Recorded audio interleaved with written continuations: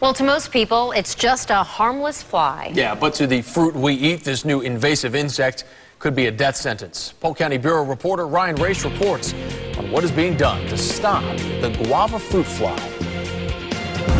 For nature lovers, the vast variety of insects is part of what makes the great outdoors great. But every so often, we always have that threat. Farmers take issue with nature when one of these buggers makes an appearance from who knows where.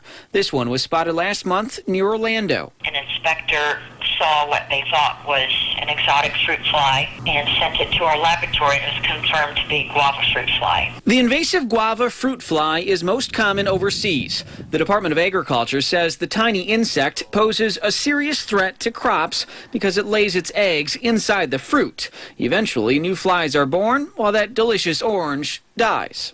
Hopefully there won't be any more. That just an isolated incident. Veteran Polk County farmer Vic Story is keeping a close eye on this pest. He remembers a few years ago when a different invasive fly became established in the area and caused considerable damage to the roughly $9 billion industry.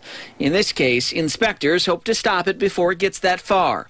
Workers set up hundreds of traps like this one, roughly 80 square miles around where they found the original fly. There's always risk in farming. Uh, there's, there's risk in a lot of businesses. Um, there's risk in you and I driving down the road. Uh, it's just something you live with. Uh, you deal with it. The experts have been dealing with it, and so far, there's good news to report. We've been checking the traps on a weekly basis now. We have not found an additional fly. They're not out of the woods yet, but farmers have their fingers crossed that this little guy acted alone. I'm Ryan Raiche, ABC Action News.